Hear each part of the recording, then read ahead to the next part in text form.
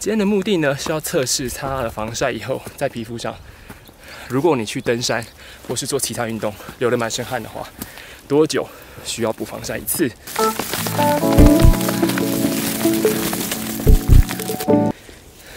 我们找了几位不同肤色的朋友来帮我们苦力的做在这测试，在上上山前先擦了一次防晒，然后过了一两个小时，大家都流汗了，我们再来看一下大家防晒保留在脸上的信息。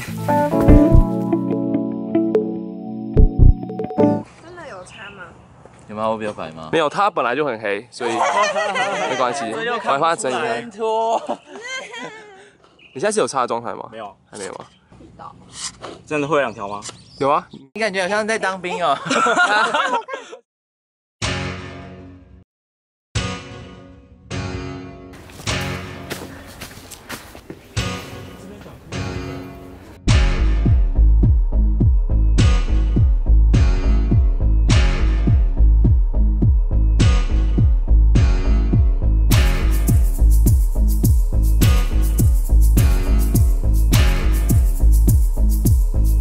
经过一个多小时在阳光下的运动，该是进行第一次的紫外线画面解释了。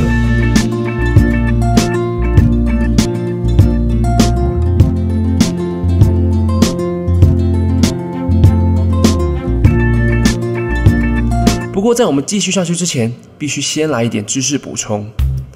美国 FDA 建议的防晒涂抹标准是两毫克每平方公分，大约是全脸需要一个十元硬币的大小才是足量。但是你知道，如果流汗以后防晒产品的厚度剩下一半，防护力会剩下多少呢？直观来看，大概就是一半吧。但是世界可没那么简单。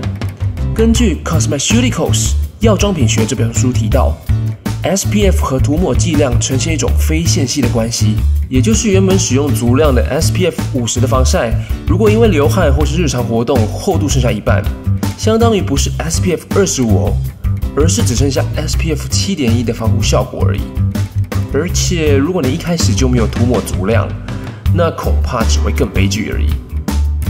理论我们先暂时讲到这里吧，让我们回到实验。一个小时了？两个小时吧，是吗？九九点半开始。九点半，现在十二点多，三个小时。应该要掉光吧？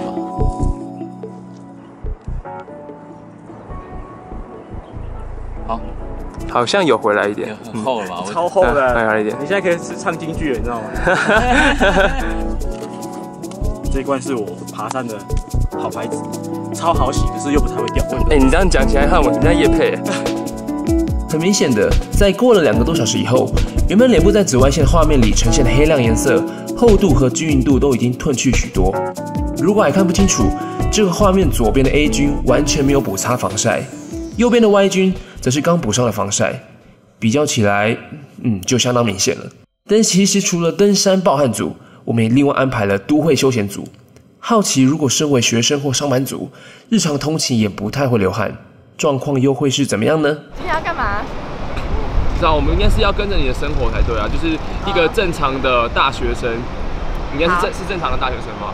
靠你平常有在擦擦防晒吗？没有，完全没有吗？完全没有。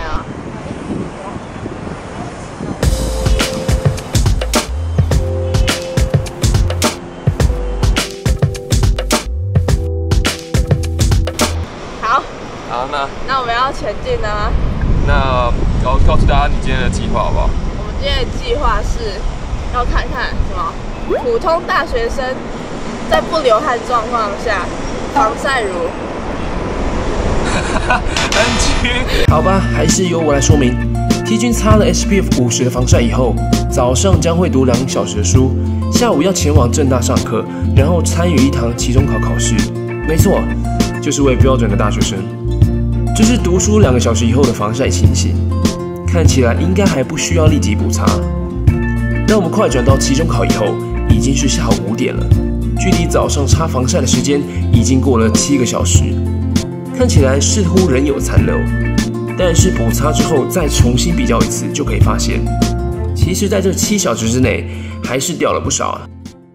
防晒产品涂抹后会因为很多因素而渐渐流失，例如环境中的湿度、流汗或是游泳，或不经意的擦拭等等，刚刚的实验过后也证实了这件事情，尤其是流汗导致流失就更明显啦。还记得那张非线性的关系图吗？厚度只要掉了一半，防晒效果可是会崩盘大跌的。为了让防晒不只是擦心安的，我们会建议，如果你是进行在户外会流汗的活动，尽量一两个小时就要补擦一次，防护力才会完整。而如果待在室内居多，而且大多进行静态的活动，也许半天再补擦一次就很足够了。例如说中午出门买饭的时候，或下班的时候。如果是比较辛苦的上班族朋友们，离开办公室都已经晚上了，那也就不用再补擦喽。以上是防晒实验室的第二集，下一集我们会实测大家都想知道的化妆品究竟有没有防晒力这个主题。怕错过的话，就赶快订阅吧。我们是 Med Partner，有一群医师、药师、营养师、化妆品配方师组成的专业团队。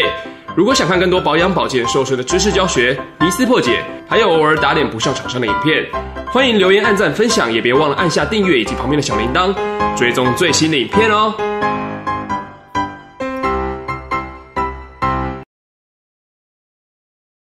这个这个会被剪进去是吧？真的假的？